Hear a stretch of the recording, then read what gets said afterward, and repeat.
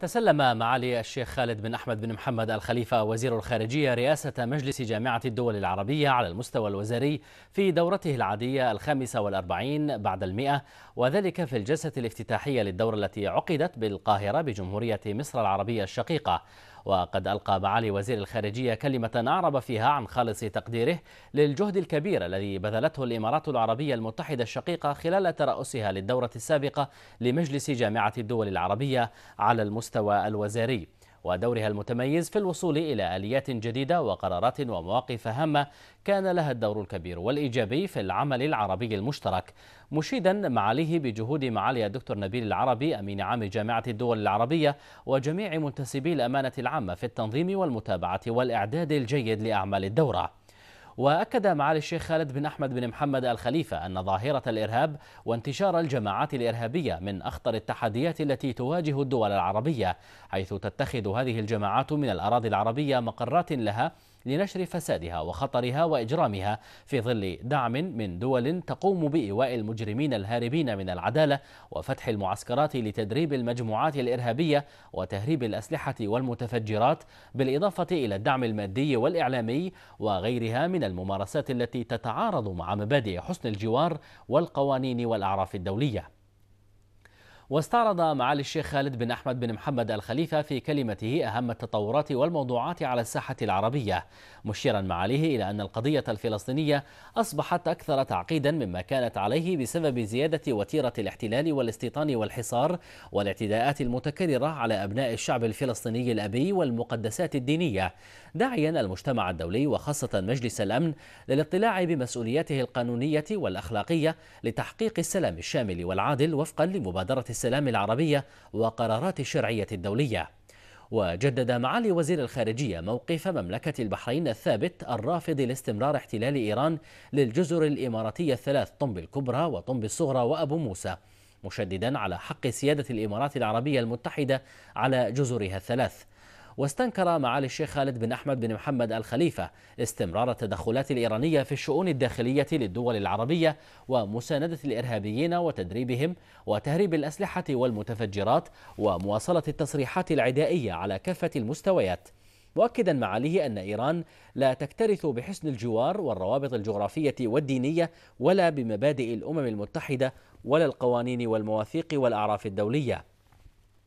مستشهدا بوجود جماعات إرهابية في مملكة البحرين ممولة ومدربة من الحرس الثوري الإيراني وحزب الله الإرهابي. وكذلك بالعدوان الذي تعرضت له سفارة المملكة العربية السعودية في طهران وقنصليتها في مشهد. مطالبا إيران بضرورة الكف فورا عن هذه الممارسات التي تمس سيادتنا واستقلالنا وأن تغير سياستها مع دولنا بما يكفل الحفاظ على أمن واستقرار المنطقة. وفيما يتعلق بالوضع في سوريا أوضح معالي الوزير أن الحل الأفضل والأسمى يتمثل في عملية سياسية شاملة وفقا لما جاء في بيان جنيف الأول الذي صدر في 2012 وتأمين دخول المساعدات الإنسانية للشعب السوري الشقيق في الداخل وفي الدول المجاورة المستضيفة للاجئين السوريين وتفعيل قرار مجلس الأمن الدولي رقم 2165 والقرار رقم 2254 داعيا الدول الكبرى للتفاهم والتعاون في حل الأزمة في سوريا.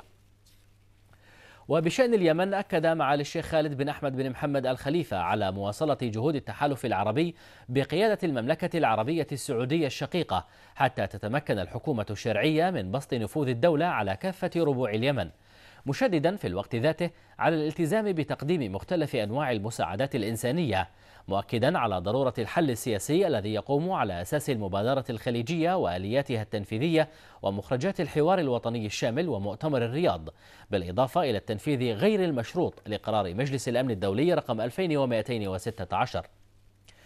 وقد رحب معالي وزير الخارجية بالجهود المبذولة لتعزيز الشراكة الوطنية في العراق بما يساعد في التغلب على كافة التحديات والتخلص من الجماعات الإرهابية على أراضيه كداعش وحزب الله وغيرها من الميليشيات المسلحة وإنهاء التدخلات الخارجية واستعادة الأمن والاستقرار. وأعرب معالي الشيخ خالد بن أحمد بن محمد الخليفة عن أمله في أن تتوصل الأطراف الليبية إلى اتفاق بشأن تشكيل حكومة الوفاق الوطني المصغرة واعتمادها لتكون خطوة متقدمة داعمة لإنهاء الأزمة الليبية وتحقيق ما يصبو إليه الشعب الليبي الشقيق من أمن وأمان واستقرار وتنمية ورفاه. وأشار معالي وزير الخارجية إلى ضرورة إعطاء مزيد من الاهتمام للتحديات الاقتصادية التي تواجه الدول العربية عن طريق تطوير آلية القمة الاقتصادية وغيرها من الآليات وخاصة في ظل الأزمة المالية التي تواجهها كثير من الدول العربية والتي تفاقمت بعد تهاوي أسعار النفط وهبوطها إلى مستويات متدنية. الأمر الذي من شأنه أن ينعكس سلبا على استدامة التنمية الاقتصادية والاجتماعية التي نسعى إليها جميعا.